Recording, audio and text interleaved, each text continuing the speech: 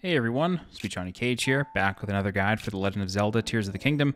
This time I'm going to show you how to solve the shrine quest, the Satori Mountain Crystal, and create the Usazum Shrine for Rauru's Blessing. So you want to start at the Satori Mountain Foothill Cave in Hyrule Ridge that I showed you on the map. It's just near the Shrine Ring. It's never far away from these things. Uh, and inside of this cave is a Hinox that you need to kill because the Shrine Crystal uh, he's currently wearing it as a necklace, and that's not good for us. Before you go in and attack the Hinox in this literal donut of a cave, you want to walk in to the middle of the ring and then climb up this little outcropping here into this smaller cave, and inside is going to be a chest with a hundred rupees inside. So I want to make sure I showed you that because it's a very, very useful little treat in here.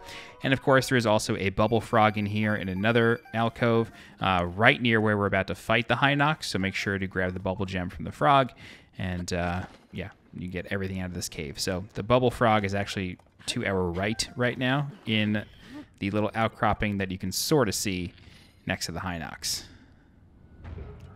Okay, so you can always try to shoot these guys in the eyes. I'm terrible at aiming in this game for some reason, at least during combat. Uh, but if you shoot a Hinox in the eye, basically it'll sort of get stunned, and then you get some decent damage on the boss, and then you know you don't have to worry about it too much. Okay, so this guy has a plate around his left foot. And what you can do is if you have a weapon that uh, creates fire, or if you want to time a fire fruit throw, you can go for that, and that'll burn it away. This way you have access to both legs. But for me, I came here kind of late. This is like my 65th shrine or something like that, so I had a decent weapon, and I was able to take him down super fast. But Hinoxes really aren't that difficult, especially when there's no trees around.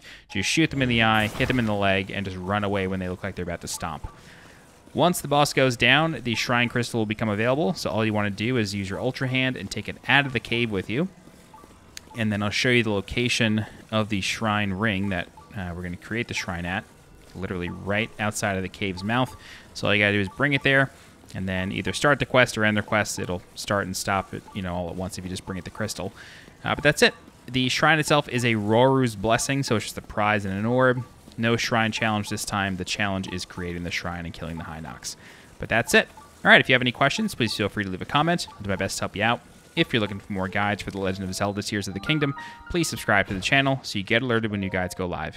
If you're interested in supporting the channel monetarily, please consider becoming a channel member by clicking the join button below this video. You can also leave a super thanks by clicking the heart icon below this video.